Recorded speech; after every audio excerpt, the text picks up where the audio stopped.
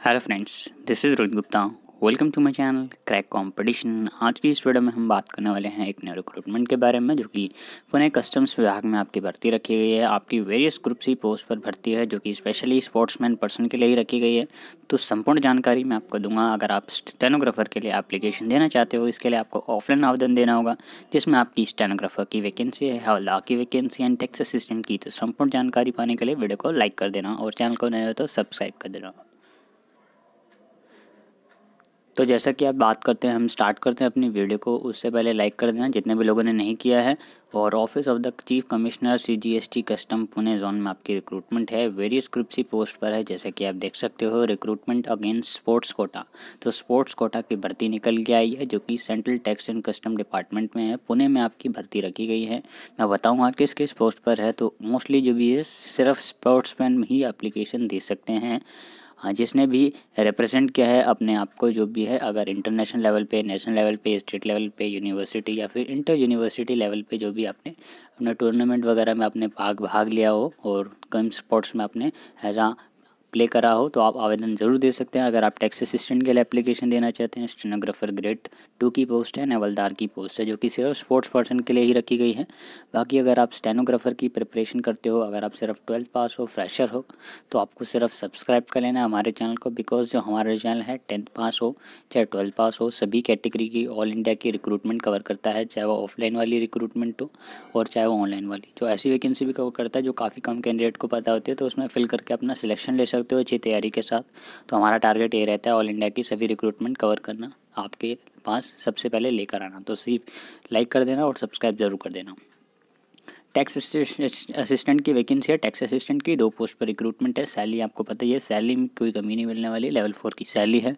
पुणे में आपकी भर्ती है तो अच्छी खासी अलाउंस भी आपके ऐड होंगे। ये बेसिक पे होता है। स्टार्टिंग का प्लस में अलाउंस स्टेनोग्राफर ग्रेड टू में सिक्स पोस्ट है एंड लेवल फोर की सैलरी हवलदार में तीन पोस्ट है। लेवल वन की सैलरी आपकी रखी गई है। तो ये सभी पोस्ट है जिसमें आपकी छः और तीन, नौ नौ, दो, ग्यारह। टोटल ग्यारह पोस्ट पर आपकी रिक्रूटमेंट है। इसके लिए आपको किस तरीके से आवेदन देना होगा? इसके लिए भर्ती के लिए आपको ऑफलाइन आवेदन देना होगा और ऑफलाइन आवेदन ज़रूर दे सकते हैं। Application form along with terms and condition को फॉलो करनी होगी। ये वेबसाइट है C B I C dot G O V dot I N website पे जाके रिक्रूटमेंट सेक्शन में जाके या तो इस वेबसाइट पे विज़िट कर लो या फिर इस वेबसाइट पे। इसकी जो भी नोटिफिकेशन है इसकी फॉर्म की पी है, आपको वहाँ से प्राप्त हो जाएगी, मिल जाएगी ऑप्टेन हो जाएगी। उसको फिलअप करके प्रिंट आउट निकलवा के, उसको फिलअप करने सभी डॉक्यूमेंट अटैच करके आपको सेंड कर देना होगा। और मैं एड्रेस बताऊँगा कहाँ पर आपको सेंड कर देना होगा, जो कि आपका रहेगा। जैसा कि आप देख सकते हो the provision period of two years आपके लिए दो साल के लिए भर्ती है। और जैसे कि आप देख सकते हो, सभी लिखा गया है clear the post are purely on temporary basis but are likely to be made permanent आपकी परमानेंट किया जा सकता है। आपके जो दो साल का वर्किंग परफॉर्मेंस के बेस पर आपको चेक किया जाएगा। बाकी आपकी परमानेंट भर्ती ही मान के चलो, ये आपकी परमानेंट भर्ती ही है। आपको अच्छा प्रदर्शित करना है अपने दो साल के कार्यकाल में। तो ये सभी पोस्ट है जिसमें आपकी स्टेनोग्राफर से रिलेटेड भर्ती है और जिसको भी सेंड करना है अपना फॉर्म वगैरह सेंड कर सकता है। टैक्स असिस्टेंट के लिए अप्लाई करना चाहे टैक्स असिस्टेंट के लिए स्टेनोग्राफर या फिर हवलदार के लिए। जिस भी एप्लीकेशन देना चाहते हो नेम ऑफ़ द स्पोर्ट जिस भी स्पोर्ट से आप खेलते हो, उसका नाम लिखोगे और आपको यहाँ पर सेंड कर देना है। एड्रेस मैं आपको बताऊँगा। एड्रेस आपको नोट डाउन कर लेना है। The joint commissioner chief commissioner central C G S T and custom Pune zone C G G S T Bhavan opposite Wadia college Pune में आपकी रिक्रूटमेंट है। इस एड्रेस पर आपको सेंड कर देना है, जो कि स्पीड पोस्ट या फिर रजिस्टर्ड पोस्ट से आपको सेंड कर देना है। कितनी तारीख से पहले सभी कुछ एकदम क्लियरली मेंशन है। स्पीड पोस्ट से आपको सेंड कर देना है। लास्ट डेट की मैं बात करूँ तो दो जनवरी। तो दो जनवरी तक का आपको समय मिलता है। तो अच्छी बात है, दो जनवरी से पहले आवेदन दे सकते हैं। बाकी जो भी नॉर्थ ईस्टर्न स्टेट से बिलोंग करते हैं, जिसमें अंडमान निकोबार आता है, लक्षद्वीप आता है, जम्मू कश्मीर आता है।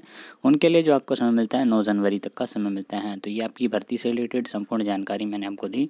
बात करते हैं इसके जो एप्लीकेशन है रिसेंटली स्टार्ट हुए हैं।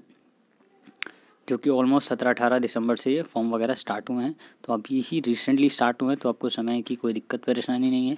फटाफट से अपना अगर आप इसके लिए आवेदन देना चाहते हो, अगर आपकी एलिजिबिलिटी क्राइटेरिया मैच करती है, अगर आपकी नहीं करती तो आपकी जो भी फ्रेंड वगैरह की मैच करती है तो आपको ज़रूर शेयर करना है। और फ्रेशर कैंडिडेट के लिए भी हमारा चैनल कवर करता है। तो अगर आप चैनल पर आए हो तो आपको कुछ भी ऐसा नहीं है कि बेनिफिट नहीं होगा। सब्सक्राइब करना, आपको बेनिफिट ज़रूर मिलेगा हमारे चैनल के माध्यम से। वीडियो को लाइक करना चैनल पर नहीं हो तो सब्सक्राइब कर देना। And thanks for watching this video